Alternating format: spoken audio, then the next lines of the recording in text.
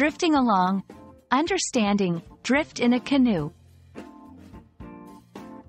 Hello, everyone.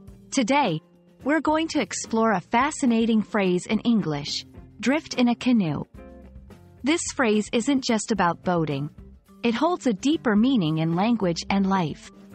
So, let's dive in and understand what it truly means to drift in a canoe. First, let's break down the phrase.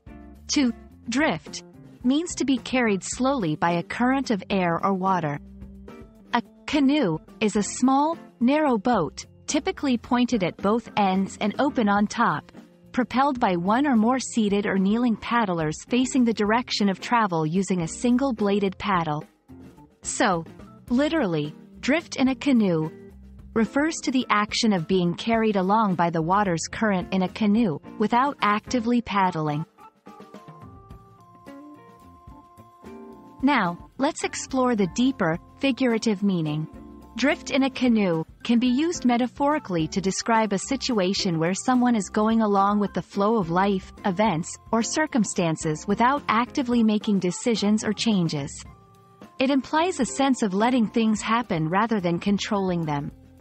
This can be both positive and negative, depending on the context. To better understand, let's see how it's used in sentences. 1. Ever since he lost his job, he's just been drifting in a canoe, unsure of what to do next. 2. Sometimes, it's nice to drift in a canoe and see where life takes you, instead of planning every detail.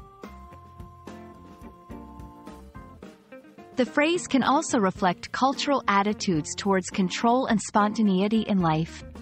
In some cultures, drifting might be seen as a relaxed approach to life, while in others, it might be viewed as lacking ambition or direction. Similar phrases include, go with the flow, or let nature take its course. And that's a wrap on Drift in a Canoe. I hope this video has helped you understand this intriguing phrase and its various shades of meaning. Remember, language is not just about words, but the stories and ideas they convey. Keep exploring and happy learning!